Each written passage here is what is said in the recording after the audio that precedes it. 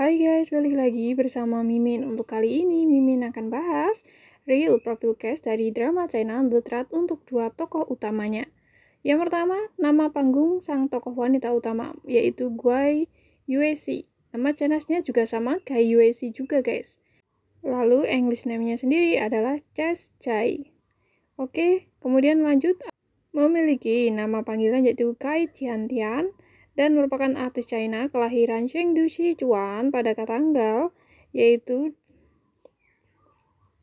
18 November tahun 1992. Jadi usianya per tahun ini 32 tahun.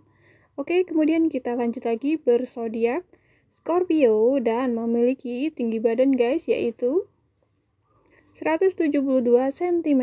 Kamu penasaran dengan akun Weibo-nya? Ini dia guys. Lalu kita lanjut lagi. Yang kedua tokoh utama prianya nama panggung asli Shen Xing Su kemudian nama channelsnya juga sama kayak Shen Xing Su juga. Aktor ini merupakan aktor yang lahir di Shenyang Liaoning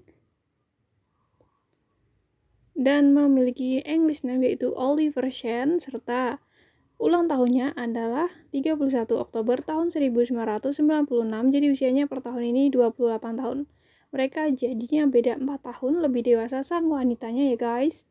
Bersodiak Scorpio dan pastinya memiliki tinggi badannya itu 186 cm.